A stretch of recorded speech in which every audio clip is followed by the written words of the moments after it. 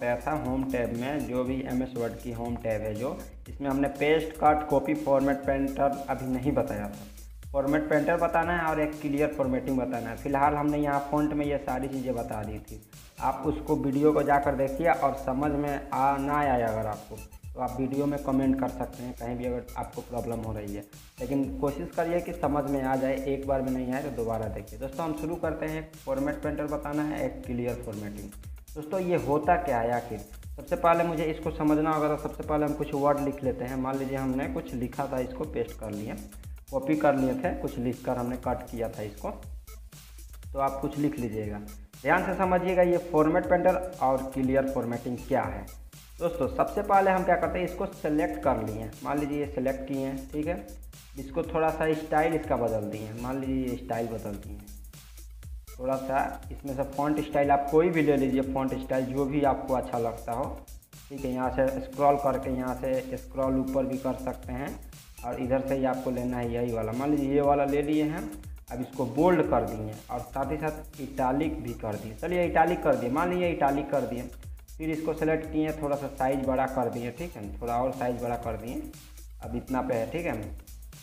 उसके बाद एक बात बताइए मुझे कलर कर दिए।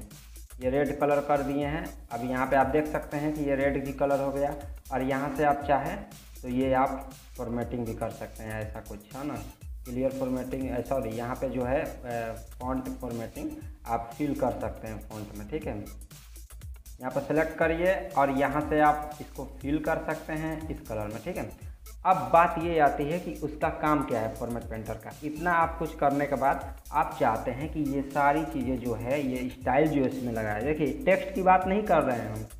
जो भी इसमें फॉन्ट में ये जो भी आपने ये किया बोल्ड किया इटालिक किया है, और ये आप फॉन्ट साइज़ मतलब चेंज किए हैं, उसका और फॉन्ट का स्टाइल चेंज किए हैं कलर चेंज किए हैं फील टेक्स्ट कलर चेंज किए हैं तो हम चाहते हैं कि यही वाला जो ये वाला लाइन है ये वाला लास्ट वाला, हम चाहते हैं सेम इसी रूप का हो जाए। कहने का मतलब ये स्टाइल भी ऐसा हो जाए, ये बोल्ड भी हो जाए, अपने इटालिक हो जाए, चौदह वर्ड में भी हो जाए फॉन्ट साइज़ और फॉन्ट फैमिली जो भी है, यहाँ से आप फॉन्ट का मतलब ये होता है जो डिज़ाइन सेम रहे, ठीक है? और यहाँ से साइज़ भी बढ़ रहा हो जाए सेम ऐसा ही हो जाए तो आप क्या करिएगा, इसको सेलेक्ट करिएगा, और फिर यहाँ से आप मिलाइएगा, यहाँ से कौन था, यहाँ पे आप मिलाइएगा कि इसमें ऐसा कौन दिख रहा है। यहाँ पे आपको याद है तो मान लीजिए इसको फिर बोल्ड करिएगा, फिर इटालिक करिएगा, फिर आप कलर करिएगा, फिर ये टेक्स्ट फिल करिएगा। समय तो बहुत ज़्यादा लगेगा। देखिए दोस्तों क्या करता है, इसको आप सेलेक्ट करिए, देखिए पूरा करिए पूरा करिए या थोड़ा सा करिए, इतना करिए या एक करिए, इतना ही करिए, ठीक है? पूरा करिए या थोड़ा करिए, देखिए फॉन्ट फॉन्ट सेलेक्ट होना चाहिए। कहने का मतलब ये फॉन्ट सेलेक्ट होना चाहिए, इतना ही का। मान लीजिए हम इतना ही करते हैं। इतना किए और फॉर्मेट पेंटर पर क्लिक कर दिए। और इसको इस पर लिया कर सेलेक्ट कर देंगे पूरा। ऐसे जब सेलेक्ट कर देंगे तो ये आप रूसी इसमें स्टाइल कॉपी कर लेगा। दोस्तों, आपको कैसा लगा ये वीडियो ज़रूर बताइएगा कमेंट में। ये आपको ट्रिक कैसा लगा दोस्तों? ये इसमें देता है, अक्सर बहुत लोगों को नहीं पता होता है। वो कंप्यूटर सीख भी लेते हैं कंप्यूटर कोर्स कर भी लेते हैं, लेकिन ये पता नहीं चल पाता है। और वो क्या करते हैं कि फिर से इसको जाकर अपना फ़ॉन्ट स्टाइल बदलते हैं, ठीक है? इसको भी सिलेक्ट करिए। आप मान लीजिए इसको हम कुछ और स्टाइल में कर दिए। ये वाला टाइम न्यू रोमन कर दिए बोल्ड कर दिए, थोड़ा साइज़ बढ़ा लिए और इसके बाद थोड़ा सा कलर इसमें रंगीन कलर कोई कर दीजिए, यहाँ से आप ग्रीन कर दीजिए। अब देखिए बाबू, एक बात बताइए, मुझे लग रहा है कि ये सारा बहुत बढ़िया है ये। ये वाला जो सारा ये कलर वलर हुआ है फॉन्ट स्टाइल बहुत अच्छा है, हम चाहते हैं इसमें भी वही हो जाए। तो आप इसको सेलेक्ट करिए इतना या पूरा कर लीजिए, देखिए पूरा भी कर लेते हैं। मतलब स्टाइल ही कॉपी करना है इसका तो सेलेक्ट होना चाहिए। एक स्टाइल हो चाहे कुछ भी हो। तो आप फॉर्मेट पेंटर पर क्लिक करिए और यहाँ पे आप भर सकते हैं दोस्तों। देखिए फॉर्मेट पेंटर का शॉर्टकट क्या होता है? यहाँ पे जब रखिएगा पॉइंटर तो यहाँ पे दिखाएगा control plus shift plus C अगर प्रेस करते हैं तो फॉर्मेट पेंटर ऑन हो जाएगा, ठीक है? अब दोस्तों क्लियर फॉर्मेटिंग की बात आती है। क्लियर फॉर्मेटिंग होता क्या है? देखिए दोस्तों क्लियर फॉर्मेटिंग आप सेलेक्ट करिए। आप चाहते हैं कि ये सिंपल हो जाए, इतना ही दो ही लाइन ये सेलेक्ट किए हैं। आप चाहते हैं ये लाइन सिंपल हो जाए, जैसे एकदम ऐसा हो जाए नॉर्मल हो जाए, जैसा हमने शुरुआत किया था, जैसे डिफ़ॉल्ट है ये। इसको क्या बोलें? डिफ़ॉल्ट है कॉपी पेस्ट किए ये डिफ़ॉल्ट ही है अभी। यहाँ पे आप सेलेक्ट करिए इसको, ठीक है? और क्लियर फॉर्मेटिंग कर दीजिए। सेम पहले जैसा हो जाएगा, जैसा ये हो, ऐसा। ठीक है दोस्तों? अब एक और दिक्कत होता है कि ये क्लियर फॉर्मेटिंग जब करिएगा सेलेक्ट करके तो इसमें सिर्फ़ एक ही यहाँ पे ये वाला सेटिंग ऑन ही रहता है। तो इसको जाके आप टेक्स्ट फील हाईलाइट कलर में जाइए और यहाँ से नो कलर कर दीजिए। इसको भी आप सेलेक्ट करिए। और इसको भी आपको क्लियर फॉर्मेटिंग करना होगा। और देखिए, ये हाईलाइट कलर नहीं हटा है तो आप टेक्स्ट की हाईलाइट कलर यहाँ से सेटिंग में जाइए और नो कलर कर दीजिए।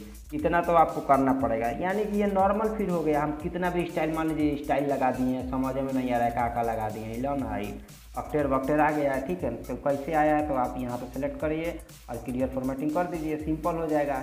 तो आप इसको समझ गए होंगे कि क्या कहने का मतलब है। इसको भी सिलेक्ट करिए और क्लियर फॉर्मेटिंग कर दीजिए। और यहाँ से नो कलर कर दीजिए। फिर सिंपल हो गया पहले जैसा।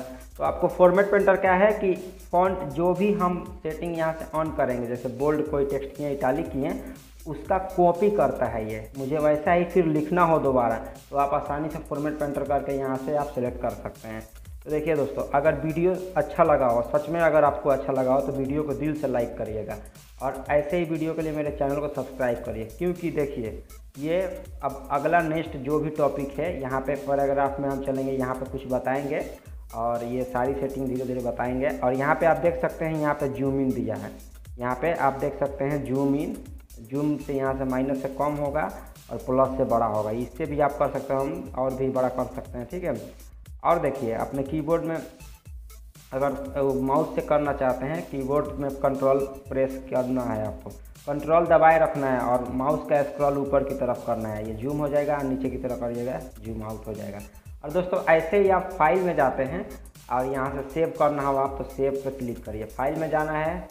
ये है 2010 और 2007 में जाइएगा तो कुछ अलग दिखाएगा। तो सेव पे आपको दबाना है या इसका शॉर्टकट होता है कंट्रोल एस या क्या होता है? कंट्रोल एस कंट्रोल एस करिए।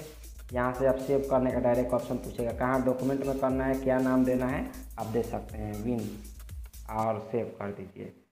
तो चलिए आप मिलते हैं अगले वीडियो में। धन्यवाद।